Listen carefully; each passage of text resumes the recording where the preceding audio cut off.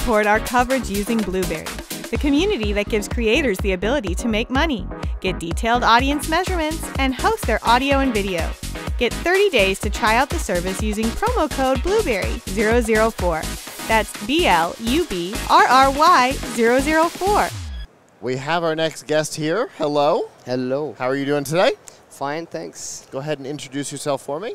Yes, so my name is, Ante- uh, is Asim Bougaima, co-founder and CEO, co-CEO of uh, Senbiosys, a Swiss startup developing next generation of uh, health monitoring uh, sensors. All right. And uh, what is available in that category from you? Yeah, so we started as a B2B company trying to bring uh, miniaturization of health monitoring sensors to the next level. And in this journey, we uh, developed the smallest uh, photoplethysmography sensor uh, on the market. Uh, photoplethysmography Thank is uh, PPG. so that um, uh, PPG is this technology that you have on the back of your Apple Watch or Okay. any smartwatch that would uh, allow tracking your vitals. Okay. So we miniaturized that, and So we made so it. it's that guy. Exactly. Okay. So that big guy turns into a very tiny little guy that you can fit inside a smart ring. And this is what we present today. Oh. Uh, it's called Velia Smart Ring. So, Uh, okay. It's a discrete health tracker. Yes. So, this is the magnetic watch bands. So, this is the sensor that I have on my watch. There we go. Exactly. Yeah. So And this circular part is replaced by each of I mean each one of these little f- windows that you see here Yeah. embeds our sensor and we have six of them all around so Got that it. we all, all, all the time have and track very good uh, signal quality Okay. and even if you rotate the ring you keep having good signal Well, thank goodness for that because that's my number one problem with rings. exactly I- rotating I specifically have a fidget ring for that reason. I mess with it constantly. So, Yeah. so you'll still have good.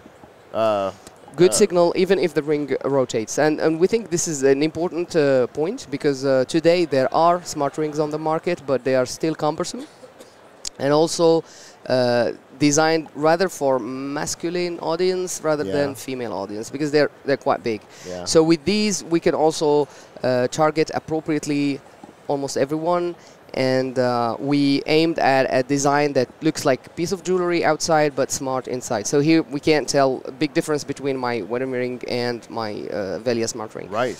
So um, the idea is that uh, we want this device to be tracking health in the back, not popping off messages all the time, not disturbing. Okay. It will be focusing at the beginning on three axes.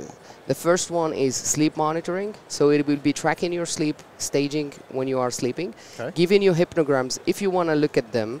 If you don't want to look at them, it will be just analyzing. And if it notices, uh, notices throughout uh, weeks, for instance, that your sleep patterns are not good, you're not sleeping well, you have, uh, you wake up too many times, even if you don't notice, it will let you know, so that you change something in your lifestyle or you uh, so that you improve this. Also, it monitors stress and it correlates sleep with stress. So during Sure. your, your, your, your, your work day, you're sitting working uh, key on your keyboard, on your smartphone, whatever, it will be tracking data and tracking your s- stress uh, particularly. And then correlating this stress data over the day with your sleep data and checking if there are correlations. Too many stress, bad sleep, or, and vice versa, and so Okay. on. This is the second one.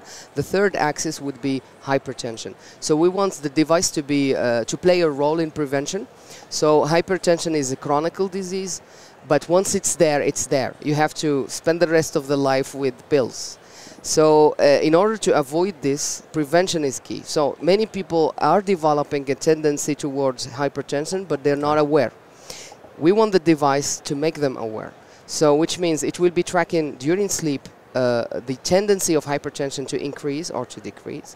And then if something is wrong, if we see that consistently uh, blood pressure is increasing throughout weeks and months, then we warn the user so that he changes some something in his lifestyle Yeah. to get that uh, uh, resolved before going into a serious uh, condition of hypertension.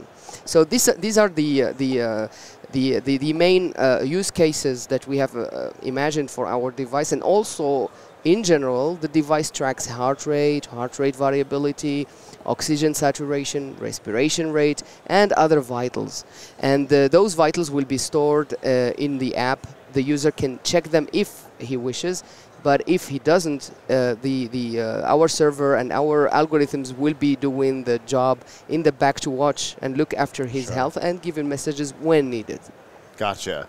Uh, so let's talk some tech slash usability things. Mm-hmm. Obviously, it's an active device. It's not passive, so it's got a battery, which means it's got to be charged. Yes. How frequently? It charges. Uh, it, it depends on the size. So we have the smallest size is US 6. The biggest one is US 14.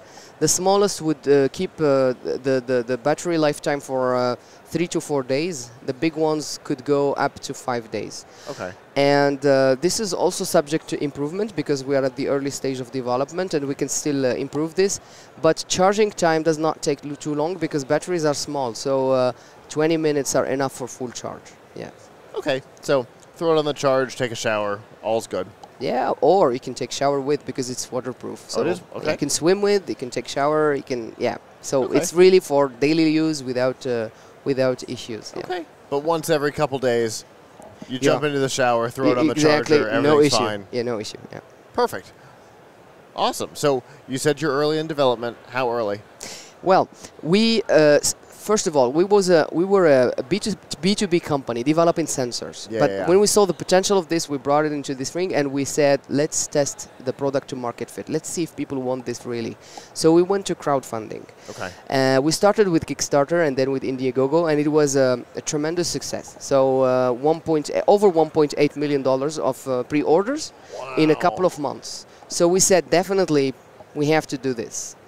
Uh, most of the pre-orders were in the in the in the U.S. market, so that's why we want to start here. So today the uh, timeline is the following: we have uh, locked, almost locked, the design with our EMS companies, which means par- partners for industrialization.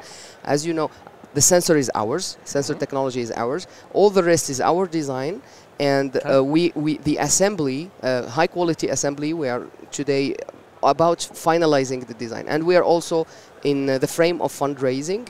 We try to bridge uh, what is required for mass production uh, with investors, so that we have enough funding, so that we can we can we can start uh, uh, uh, mass producing and delivering to the backers, and also uh, selling throughout our our online website. And then uh, on at a later stage, we would uh, hit the growth for the company, and then go for another funding stage. Yeah. Okay. So. So between today and uh, a go-to-market. If we secure our funding today, Yeah, our okay. go-to-market will be Q2 2024. Okay. Yeah. Okay. So you, if you get your funding, you're pretty much ready to roll. Yes. Okay. Yes. Very cool. If people want to find out more about this, how can they do that? They can go on our website, uh, senbiosys.com, or uh, on uh, veliasmartring.community.com. Yeah. Very cool. Well, thank you so much for coming and talking to me today. Thank you very much. Really appreciate it. It was my pleasure. Good luck with the rest of the show, and hopefully you you. get your funding. Thank you.